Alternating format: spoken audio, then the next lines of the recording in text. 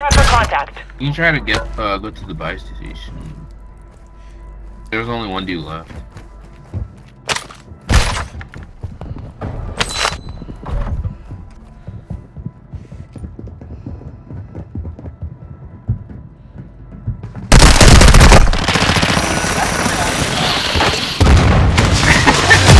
out there.